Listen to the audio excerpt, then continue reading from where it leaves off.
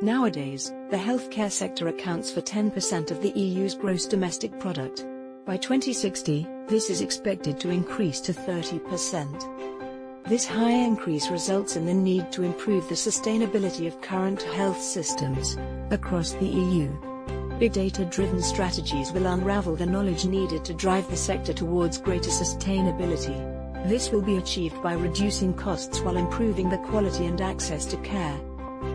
How does BigMedilytics address the challenge? The project implements 12 pilots divided into three themes.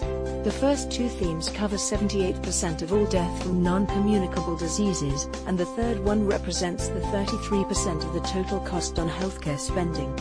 The learnings captured from the pilots will be used to define the best big data practices to be followed in Europe, from both a technology and healthcare policy perspective. BigMedilytics will increase productivity in the health sector by applying big data technologies to complex datasets, while ensuring security and privacy of personal data.